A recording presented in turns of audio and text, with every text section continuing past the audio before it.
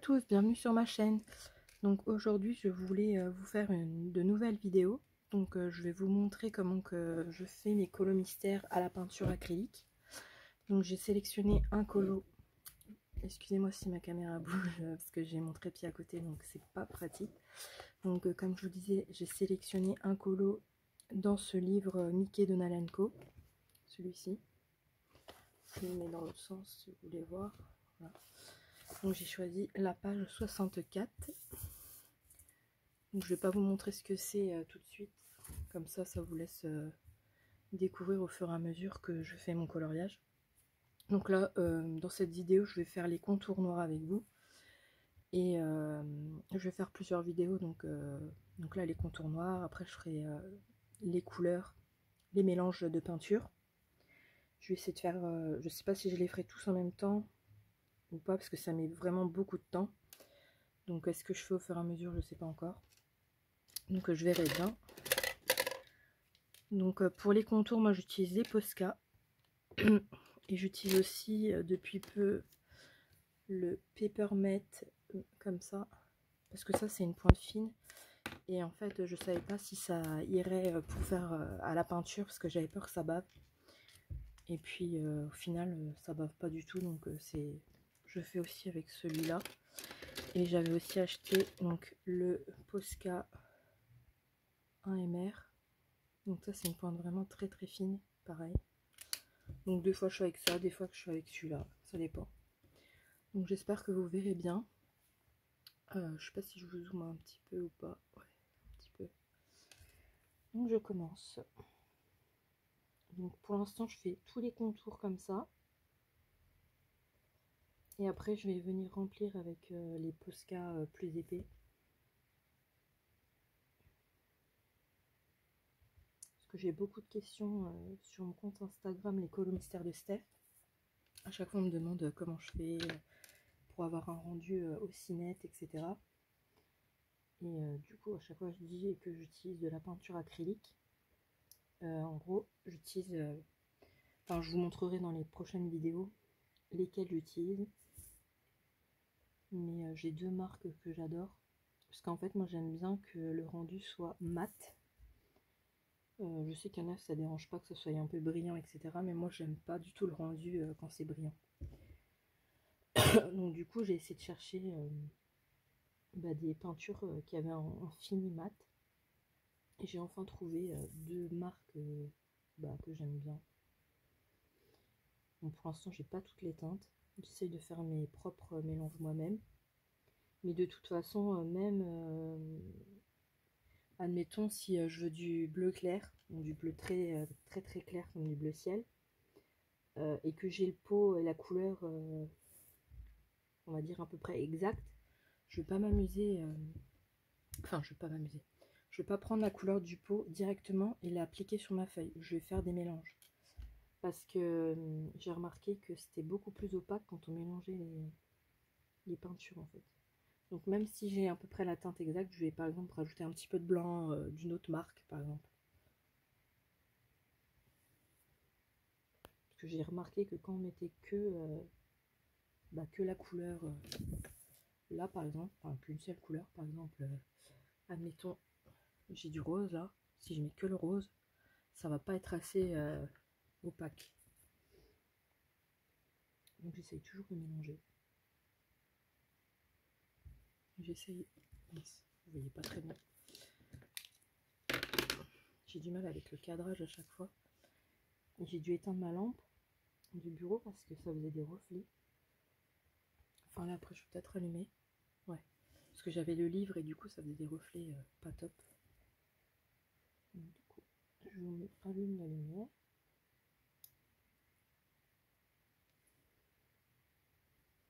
Je sais que c'est un petit peu long de faire les contours. Mais bon, il y en a qui aiment regarder. Après j'ai pris un colo euh, pas très compliqué puisque pour faire une vidéo euh, bah, avec des, détails très euh, minutieux, c'est pas ça, ça va pas être simple. Donc du coup j'ai pris vraiment un colo simple à faire.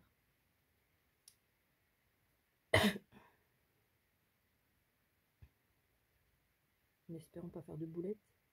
Mais bon, comme je disais à quelqu'un euh, sur euh, Facebook, sur un groupe, je lui disais qu'en gros, euh, avec la technique là, l'avantage c'est qu'on peut faire autant de boulettes qu'on veut, et ben on peut toujours rattraper en fait. Parce que ça m'arrive de faire des erreurs, par exemple avec le noir, ou d'autres couleurs, par exemple quand je déborde, parce que moi je suis pas une pro, hein, je, je me dis pas pro de la peinture, etc. Mais après, euh, j'arrive toujours à rattraper ce que je fais pour que ça soit, euh, pour que ça me plaise à moi en fait. Donc euh, c'est le principal.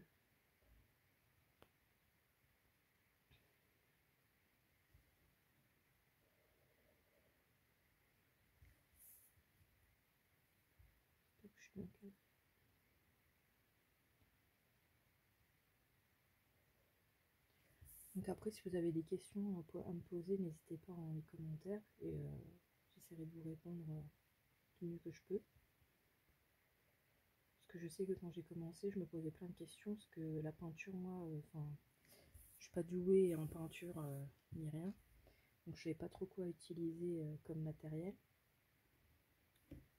Mais bon, si vous voulez des conseils, Là, ça fait déjà un petit moment que je fais des colos à la peinture, donc je commence un petit peu à m'habituer. Après, sans me dire pro, hein, bien sûr. après, je pourrais vous montrer aussi euh, dans une autre vidéo les colos que j'ai déjà fait euh, à la peinture. Si vous voulez voir. Dans ce livre-là, euh, je crois que j'en ai fait qu'un seul à la peinture, dans le Mickey Donald Co. C'était un colo de Donald c'était des premiers, enfin, c'était pas le premier, mais c'était un des premiers que j'avais fait.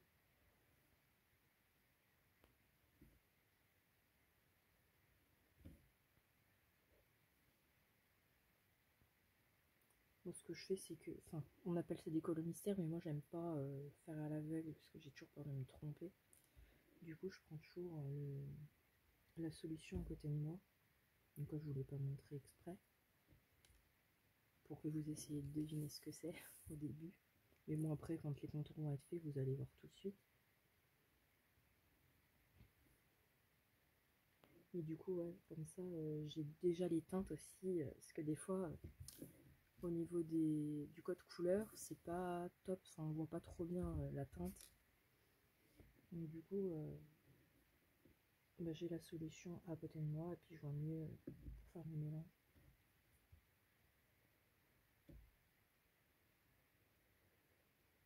Des fois je vais pas très droit, mais. Après, de toute façon, je repasse, euh, quand moi je fais des trucs à la peinture, je repasse plusieurs fois avec les Posca au fur et à mesure du colo, parce que vu que je déborde souvent, du coup je repasse euh, les contours euh, au propre. Vous verrez comment, comment je fais. moi je sais pas, enfin c'est pas parfait du premier coup, même si j'utilise des pinceaux assez fins, des fois, enfin, je déborde. Après, c'est pas grave.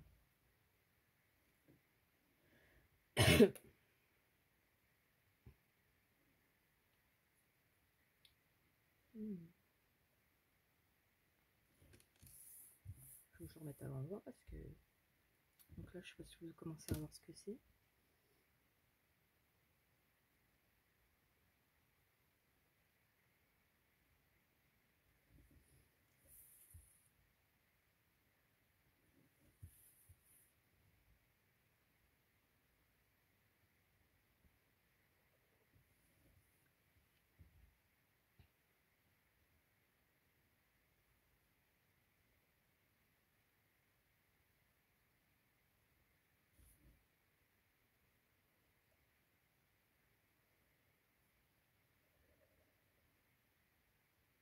J'aime pas trop le bruit de la mine euh, du fait euh, ça glisse sur le papier.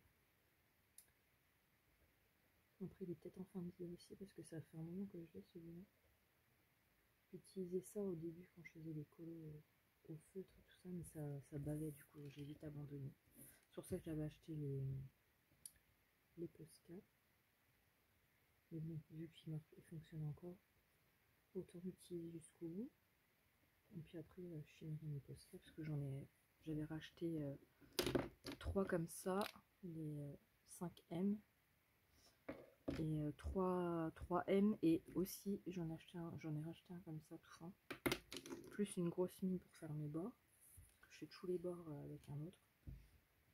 Je suis une comment dire une fan des Posca noir en tout cas.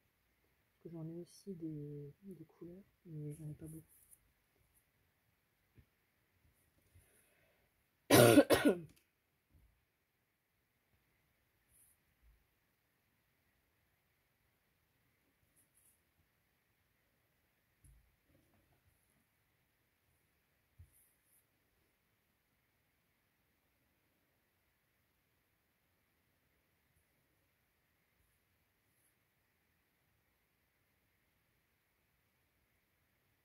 Et puis euh, aussi, j'ai découpé mes feuilles comme vous voyez de mes livres et j'ai tout mis en porte-vue.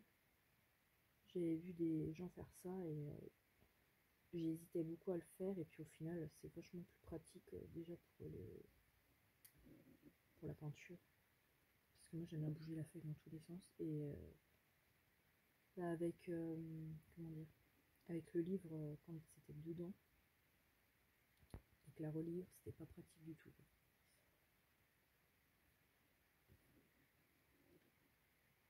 Du coup, je regrette pas du tout d'avoir fait ça. Alors, je sais pas si vous voyez ce que c'est.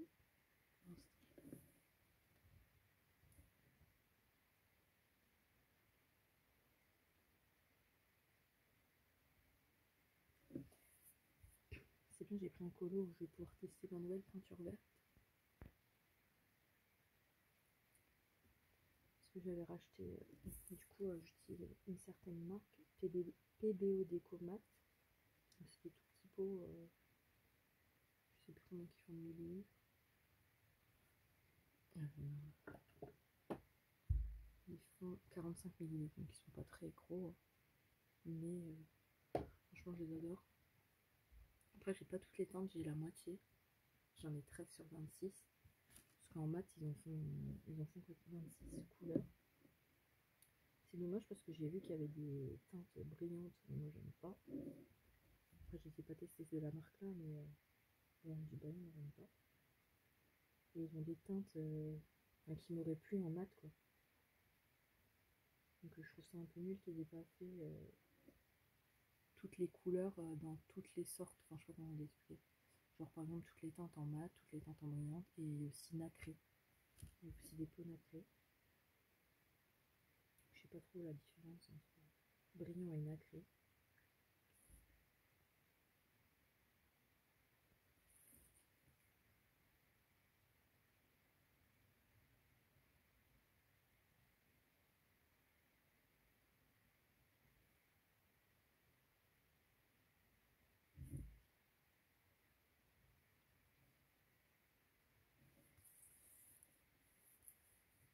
là, vous devriez reconnaître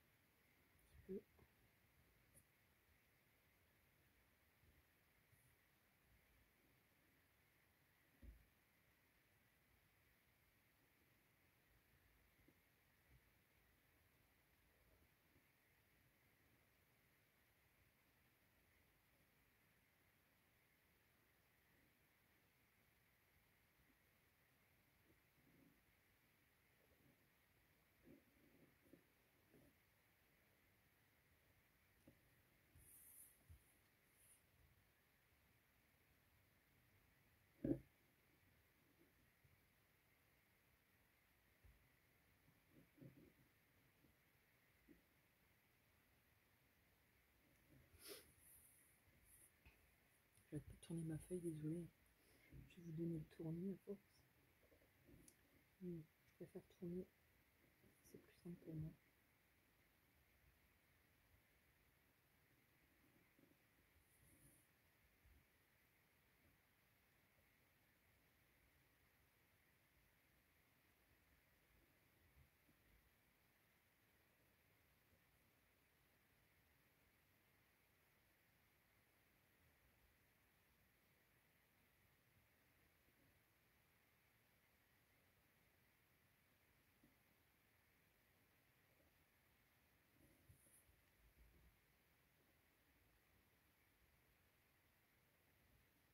Il y en a qui m'ont dit qu'ils n'osaient pas euh, commencer à la peinture parce qu'ils n'étaient pas doués, etc.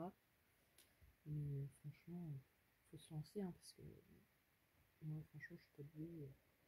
Enfin, en en dessin, hein, je veux dire. Dessin, peinture, j'ai jamais fait de tableau ni rien. Il n'y a pas besoin d'être euh, un artiste pour faire ça. Hein.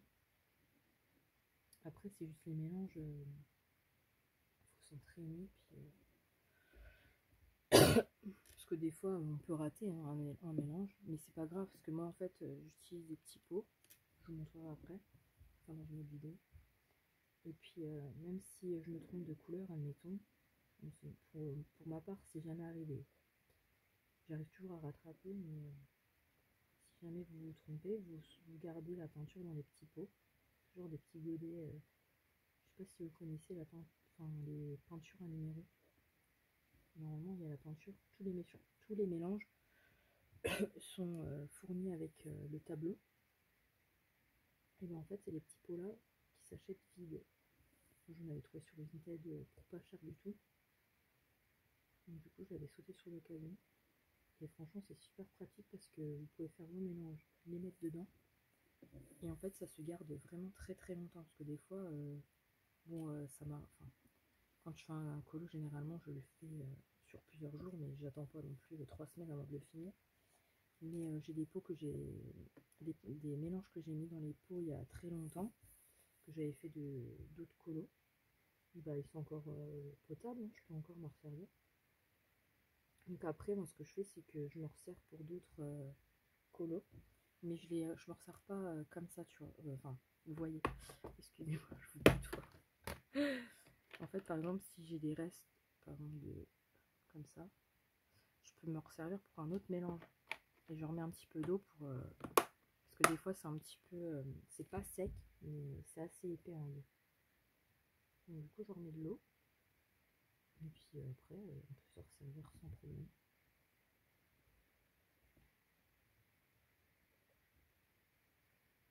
Du coup, j'aime bien cette technique-là. Il y en a aussi qui font les colos deux par deux, qui regardent un peu les couleurs qui se ressemblent. Ça, j'ai jamais fait. J'ai déjà pensé, mais bon, ça doit être un peu chiant pour l'organisation d'avoir deux feuilles donc euh, moi je pense que je m'embrouillerai plus qu'autre chose. Mais bon, pareil, vous pouvez hein, si, vous voulez faire d'autres en même temps. Mais bon, moi je vous conseille de faire colo par colo. Ça sera plus simple au début au moins.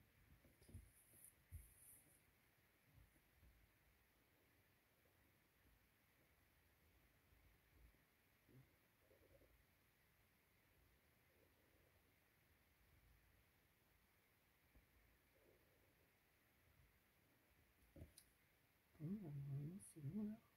Il n'y a rien d'autre. Hein.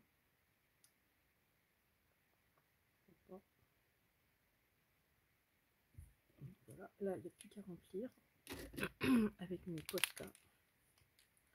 Donc là mes posca, bah, ils sont, ceux-là ils sont en fin de vie. Enfin celui-là en tout cas. Je sais pas si encore fait. Donc là bah, je vais remplir comme ça. quand c'est des endroits trop fins, des fois je prends les plus petits, mais j'arrive toujours à me débrouiller.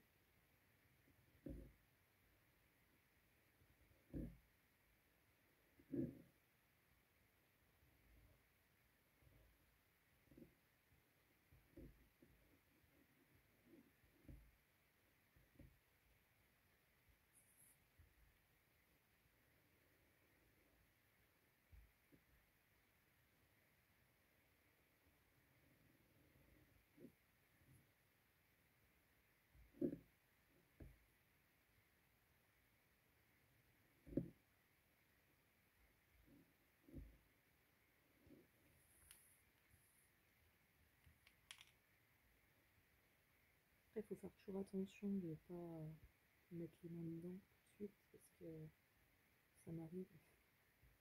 J'appelle ça mes boulettes. Et en fait, des fois, j'en mets sur ma main et puis après, je pose et hop, ça fait une trace. Mais bon, comme je vous dis, avec la peinture, on peut toujours recouvrir les, ces genres de boulettes.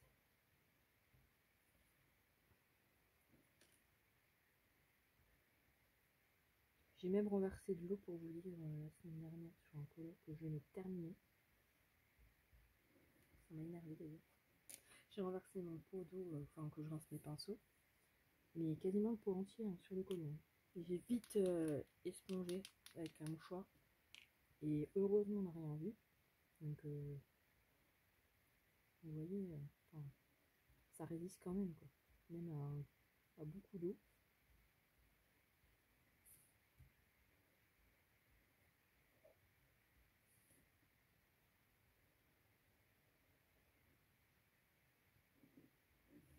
Je pense que vous l'aurez reconnu. C'est Monsieur Donald. C'est dans un dessin animé qui s'appelle Bon pour le modèle réduit. Je connais pas du tout, c'est de 1951. C'est trop vieux pour moi.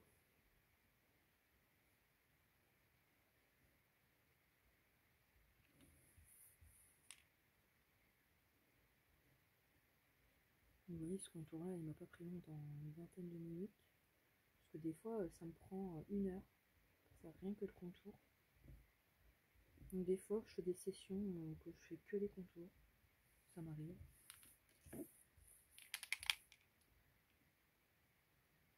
Mais après, moi, plus, c'est la peinture. Parce que avant, ça me prenait, euh, pareil, à peu près une heure à faire le colo au feutre. Mais là, ça prend beaucoup plus de temps que ça. Parce que le temps de faire les mélanges. Et encore, je fais pas tous les mélanges en même temps d'habitude.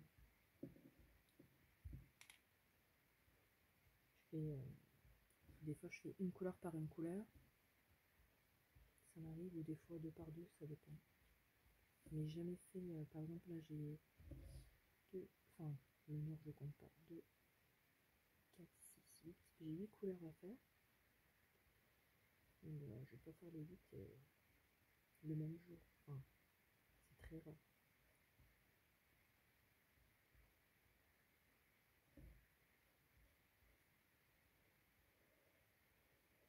J'essaye de faire les couleurs qui se ressemblent euh, l'une après l'autre, on va dire, et j'essaie de commencer par la plus claire. Comme ça, après, je vais éclaircir, euh, enfin, je vais enfoncer, je veux dire, le orange. Parce que des fois, je récupère. Par exemple, à mi-temps, j'ai un bleu ciel, et je vais après un bleu un peu plus foncé. Je récupère euh, je, récupère pas tout parce que j'en sais jamais, des fois je fais des oublis. je vois qu'il faut faire une retouche ou un truc comme ça. Donc euh, du coup j'en garde toujours un petit peu. Mais euh, je prélève bah, dans le pot euh, que je viens de faire. Je regarde dans les pots que j'ai déjà fait aussi. Pour pas gâcher de la peinture. Si j'ai des restants qui ressemblent ou qui peuvent me servir, hop, je les prends. Et après seulement je viens prendre bah, de la peinture neuve foncer ma peinture.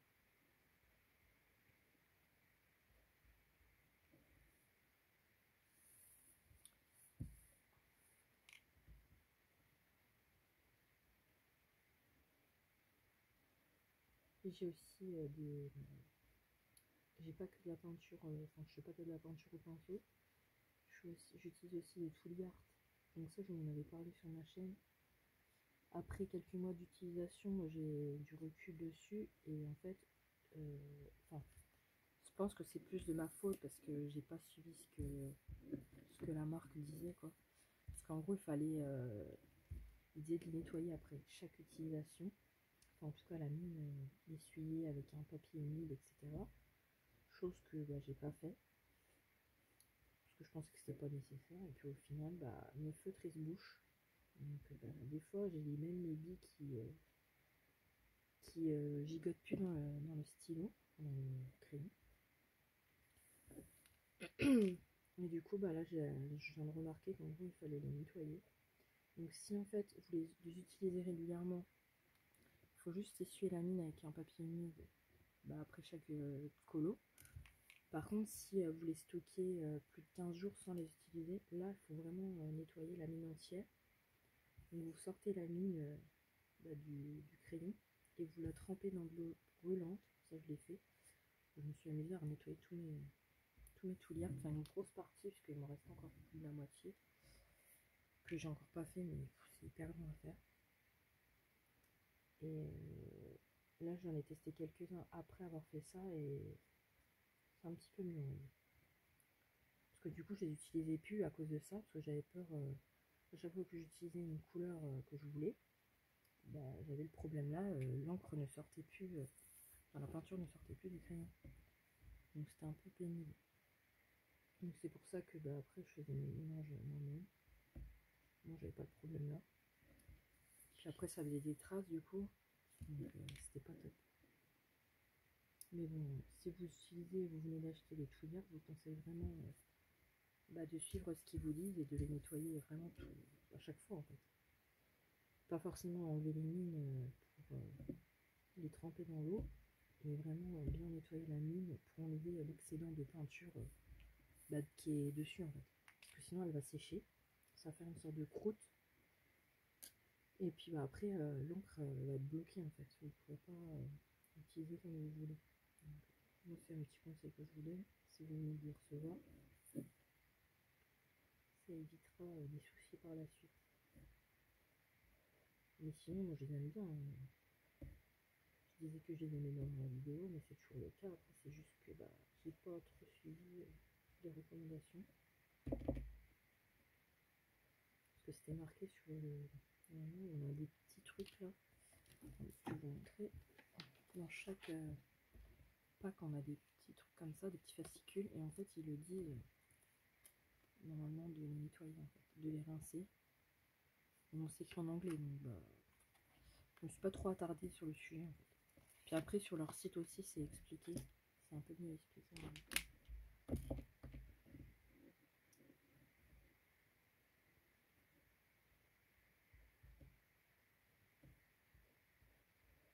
J'ai mon Posca là qui souffre.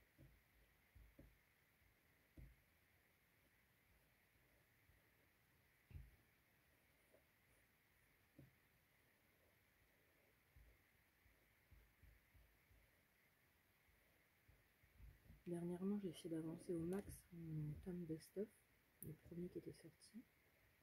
J'en ai déjà fait 41 dedans. J'aimerais bien euh, arriver à la moitié. Maintenant, ce que je fais, c'est que pour voir bien l'évolution du livre, en gros, euh, je mets tous les colos que j'ai finis au tout début euh, de mon porte-vue. Comme ça, quand je les fais, je vois que des colos terminés. Je sais pas, c'est motivant, c'est. Je sais pas, j'aime bien. Que quand euh, on fait des colos, des fois on prend un peu au hasard dans le livre, et puis bah, ils sont pas tous à la suite, on va Donc, du coup, maintenant j'essaye de faire au mieux pour que ça fasse recto verso, comme ça je peux les mettre à la suite je vous avais fait une vidéo bah, sur mon compte Insta, Nicole Star de Step, pour vous montrer euh, l'avancée du livre. Mais bon, il y avait des colos que j'ai pas pu montrer. Enfin, je sais pas si j'ai tous montré. Si, je crois que je les avais quand même tous montrés, même ceux qui étaient vers la fin.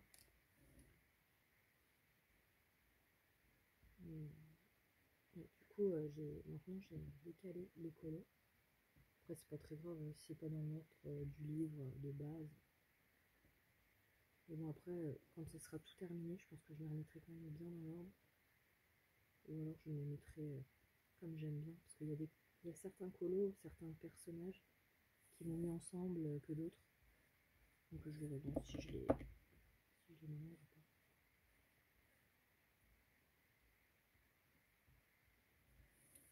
J'ai bientôt terminé. Donc après, j'ai coupé la vidéo. Donc là, ça fait à peu près une demi-heure ça va, pas très long. Le plus long reste à venir, hein. je vous préviens d'avance. Après, n'hésitez pas à prendre un colo puis faire euh, avec moi. Hein. Je sais que j'aime bien faire ça des fois. Je, mets des vidéos sur YouTube de personnes qui font des colos. Et puis euh, je fais en même temps mes contours ou.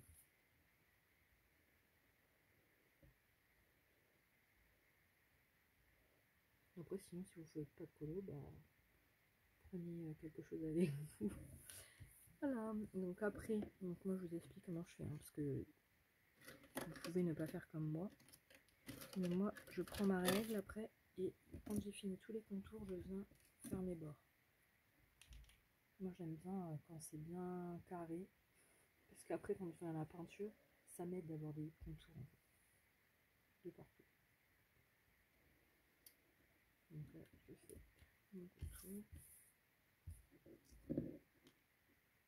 Et des fois, ça m'arrive de faire des boulettes en faisant ça. Parce que du coup, des fois, ça fait des traces noires. J'arrive toujours à sauver les meubles. Parce que vraiment, avec la peinture, ça recouvre très très bien. Et puis aussi, on m'a demandé euh, si ça traversé la feuille. Non, ça ne traverse pas la feuille. Il faut vraiment, en fait, euh, faire couche par couche. Quand vous faites une première couche, vous attendez que la première couche soit bien sèche. Sinon, c'est là que vous allez, vous allez le papier, en fait, parce que si vous mettez trop d'eau, trop de matière, bah, ça va pas avoir le temps de, bah, sécher, en fait, et ça va, ça va, ça va le truc. Ça va faire des boulettes, etc. Donc, ça va pas être le top. Mais vraiment, si vous attendez, vous pouvez faire autant de couches que vous voulez, ça traversera pas. des fois, je fais 2, 3, des fois, je fais des petites retouches, hop, ça traverse pas du tout. Et c'est pareil pour les Tully. Il faut vraiment attendre euh, que votre première couche, votre deuxième couche, etc. soit sèche avant de passer à la suivante. Parce qu'il y en a euh, qui, des fois, envoient des messages pour dire Oh, mais ça a trop le papier, ça fait des bouloches. Mais c'est parce qu'en fait, ils, veulent aller trop vite. Et puis, ils laissent pas sécher, en fait. Donc, euh, voilà. Donc, je vous montre, du coup, bah, le, ça va être celui-ci. Donc il y a vraiment un gros aplat là, parce que ça, pareil, il y en a plein qui n'aiment pas faire les fonds, parce que ça fait des traces. Donc du coup, euh, en faisant la peinture, pas de traces. Ou alors très très peu. moi, euh, généralement, j'en ai pas. Donc euh, voilà. Donc je vais vous montrer ça après dans une autre vidéo. Je vous laisse et je vous dis à tout de suite.